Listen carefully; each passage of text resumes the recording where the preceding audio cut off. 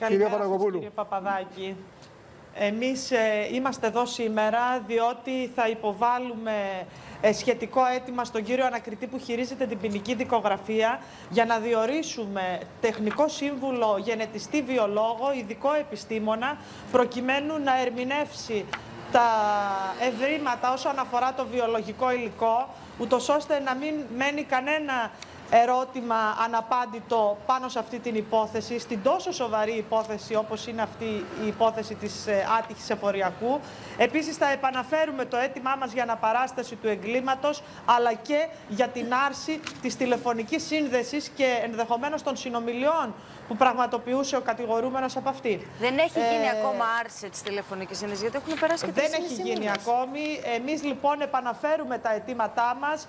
Ε, πραγματικά θεωρούμε βεβαίως, η οικογένεια θεωρεί και είναι πεπισμένη ότι ο συγκεκριμένος κατηγορούμενος, ο οποίος έχει ομολογήσει και τις πράξεις του από την πρώτη στιγμή, ότι είναι αυτός ο οποίος αφαίρεσε την ανθρώπινη ζωή της ε, δώρας, ε, διότι και οι πράξεις του, οι μεταγενέστερες μετά από αυτή, δείχνουν ότι αυτός είναι. Από εκεί και έπειτα όμως καταλαβαίνετε ότι η οικογένεια έχει δικαίωμα να μάθει, έχει η Βεβαίως. οικογένεια δικαίωμα να μην αφήνει τίποτα που Βεβαίως. να μην το διερευνήσει, που να μην Σωστό. το διακριβώσει και εμείς να ασκήσουμε κάθε νόμιμο δικαίωμά μας πάνω σε αυτό για να μην υπάρχουν σκιές, να μην υπάρχουν ερωτήματα αναπάντητα που να βασανίζουν την οικογένεια. Η κυρία Γεωργία Ανδριέλου, η μητέρα της Δώρα Ζέμπερη. Καλημέρα κύριε Ανδριέλου.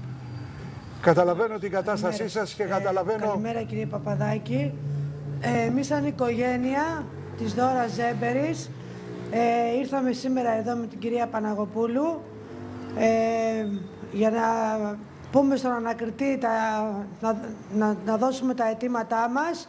Ε, σαφώς και ο Φωνιάς είναι αυτός που είναι, έκανε το έσφαξε το παιδάκι μου, αλλά θέλω να μην μείνει κανένα ερώτημα αναπάντητο και να μην μείνει, μείνει καμία σκιά πάνω από το φόνο του παιδιού μου. Και- Θέλω και- να διευκρινιστεί μέχρι η υπόθεση μέχρι τέλους. Και να καλά κινήσουμε κάνετε. γη και ουρανό.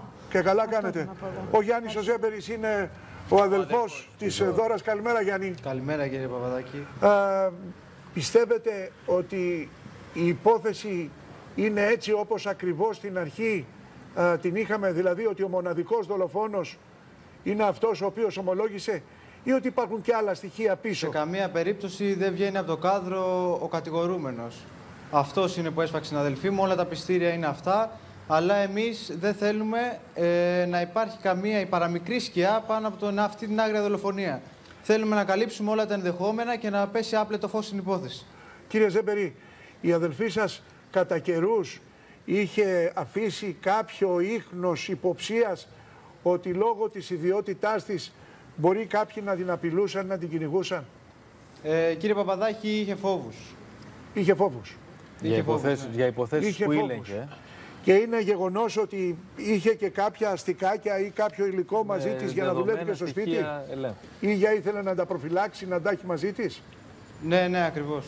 Κύριε Ζέμπερε, τη είχαν στείλει και απειλητικά μηνύματα, μην πας στο νεκροταφείο κτλ. Αυτά που ακούστηκαν κατά καιρούς. Το γνωρίζετε; Ε, αυτό δεν μπορώ να το εξακριβώσω εγώ. Ήταν στο κινητό της αδελφής μου.